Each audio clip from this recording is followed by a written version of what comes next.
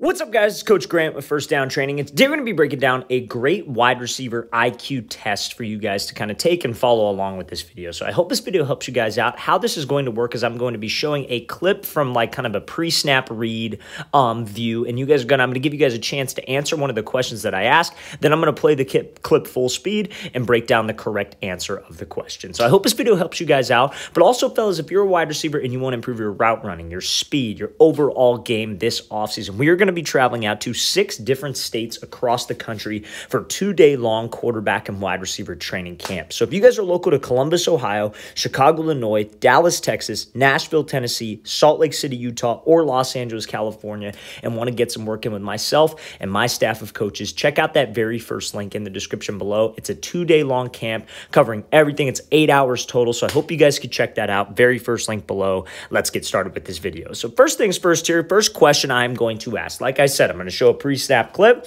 I'm going to ask you guys a question, give you a chance to pause the video and think about it, then we'll go over it. So how would you guys run, and mind you where we're at, this is the goal line right here. So how would you guys run a corner route versus this specific coverage of this DB? So he's lined up about two yards off, and he is going to be outside shade. So how would you guys run a corner route when the DB is two yards off outside shade? So you guys can go ahead and pause the video, think about what kind of answer you would give, think about what you would do, and then we'll go over it. So you guys can go ahead and pause the video.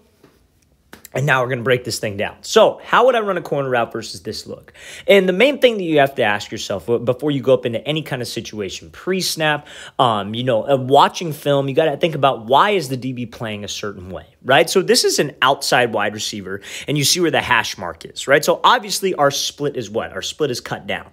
So anytime that we have a reduced split like this, this DB is probably going to be expecting an outside route because a lot of the times what offenses do is they'll cut the split down to the wide receiver to run, you know, a 10 yard out to run a corner like so, maybe to run like maybe just like a strip. maybe sometimes they'll run a drag, but when he's outside shade, he is trying to protect the outside. He does not want to give let you give get the outside. He does not want to give up the outside release. So if you try to force the outside release, he's going to get hands and wall you to the sideline. So if you said something like square him up, give him a crossover, take the outside release, restack and go, that's not going to happen because a good DB will not give up that leverage. Now, if something that you said was I want to attack his leverage, I want to attack his outside shoulder, his midline, eh, threaten him outside because that's where he doesn't want to give up, move him off the platform, then take the inside release, you would be 100% correct. So let's play this thing full speed because this is exactly what he does in this situation. So he attacks him outside, takes the inside release, works to restack, and gives a move at the top of this break. So a lot of guys think that every single time you run an outside breaking route,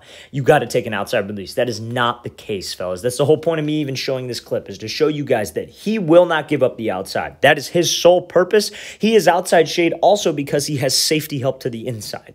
So his goal is to force you to that safety help, not let you run around him because he doesn't have any help out there. So if you can threaten him to where he doesn't want to go, if you could threaten him to the outside where he doesn't want to actually let you go, that's going to move him off the platform. He will do whatever it takes to prevent that from happening. And that's when you could get some separation. Now, I know everybody's probably thinking, well, if I got to run a corner route, what if he doesn't move? What if he plays it well? What if he's hip to hip with me? that is when we do something called a throw by technique. So if you were right here and let's say this DB was over the top slightly, you didn't have a step on him, he was hip to hip with you. You would take your right hand and you could swat him by at the top shoulder, his hip, but anything to use his momentum and throw him upfield so we could slip back underneath. Our plan is obviously to restack. Our plan is to take the inside release, get over the top, and throw a move. But sometimes that DB plays it well, and I got to make sure that I have a reactionary plan as well as a primary plan coming off that line of scrimmage. So I hope that makes sense. I hope you guys kind of understand that. Let's play this thing again full speed one more time. So if you guys said attack is leverage outside, take the inside release and work a move or throw by, you would be correct on this. So now, how would you guys, against this specific look, right? So DB is inside shade about two to three yards off, I'd say. Well, maybe about like a yard and a half, actually. Like a yard and a half, two yards off. Inside shade, and you have to run a three step slant. This is the look. So three step slant time. So you guys can go ahead and pause the video, think about what you would do, and then we'll play this thing full speed and break it down. So go ahead and pause the video. Now we're going to break this thing down. So if you got this inside shade guy and you have to run a slant like so, Um, the main thing that you want to understand is that you cannot just do the straight up diamond release off the line. There's too much of a gap between you. So anytime that there is a gap, anytime that there is a you know space between you and the DB, you have to close that space. So if you guys said, "Oh, I'm just going to do a diamond release to the outside. I'm going to take three hard steps on a 45. He's going to commit his hips, then I'll slip back underneath and run the slant." Now, that would be incorrect because there's too much space between the two of you. So if you just ran to the outside right now, let's say he does jump, you still got to get to the slant. So he's got a lot of space to recover, and that extra space means extra time, and he's got he's got enough time. Trust me, if you don't close the distance with him. So you would want to make sure that you close the distance first before you do the diamond. Now, I know a lot of you probably also said this, or maybe some of you also said this. I would attack his leverage, give him a move to the outside like a crossover, get him to jump, and then slip under. But again, it's very similar to that outside shade that we just talked about. He's inside shade now. He will not give up the inside. He is solely inside shade to stop you from running a slant, to stop you from crossing his face. So if you try to just square him up and attack his leverage, and that's the only plan of action you have, he will weave to the inside, keep his leverage, and you'll end up running that slant right into to him. So we have to threaten him with the fade, but we have to close the distance first. So let's play this thing full speed. So this receiver closes distance, hip to hip with him when he is selling vertical, fellas. That makes it a much harder recovery for this DB. So comes off the line, attacks that leverage. He's just closing the space, make the DB uncomfortable, step on his heels. Now, you see in this exact situation why you wouldn't want to just attack him and then make a move and try to cross his face, because what does he do when he attacks him? He moves him off the platform. He keeps his leverage to the inside. You wouldn't be able to just run the slant like that. So we have to threaten to the outside. And remember, it's a three step slant. So we have to keep that timing with the quarterback. So when he attacks on that diamond release, those three hard steps one, two, three, look how close he is to this DB. There's not much of a gap, if any of a gap. He is what I like to call hip to hip with this guy.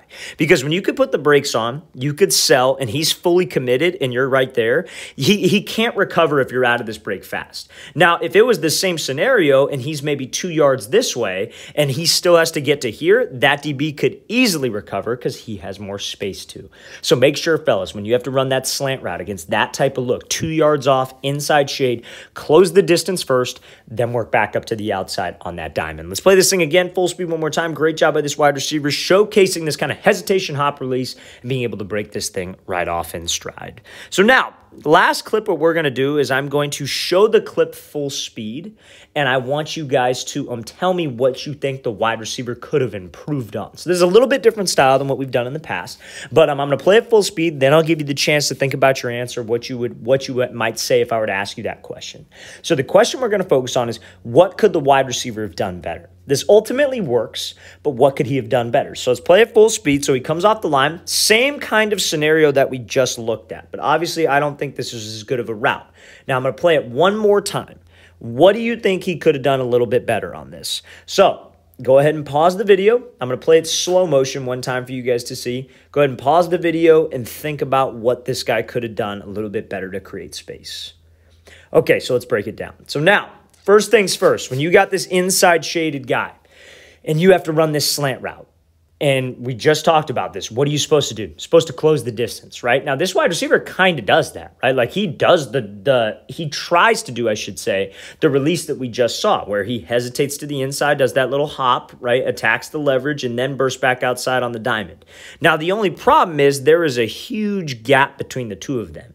Now, this DB, I think, is very undisciplined. You see how his eyes are very high. He's looking at the wide receiver's upper half. That's not going to do much. You got to focus on the hips if you are a DB to stay disciplined. But I think if this DB is a little bit more disciplined, this route does not work. And if he keeps his leverage, right? Because you see, as soon as he comes off the line, what does he start doing? He starts backpedaling.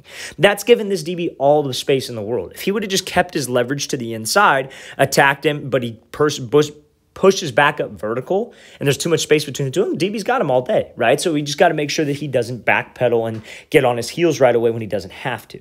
Because the mistake that this wide receiver made is he didn't close the gap enough. Look at his release off the line. You see how it goes lateral? He doesn't even cross the line of scrimmage. So the problem with that when you go lateral like so is that you're not threatening him. You're not closing the space with him. So when you burst up on that diamond release, there should be too much of a gap. This DB should be able to recover easily. But because he wasn't disciplined with his eyes, he wasn't disciplined with his technique, we could make him look bad. So I think this was more so like a DB not playing things super well rather than a good route. I think so. If you said he needed to close the distance a little bit more when he attacked his leverage, that would be 100% correct. If you thought it was something else, maybe that's not necessarily wrong, but that's the main thing I was looking for. You have to close space anytime that that DB is an off coverage like so.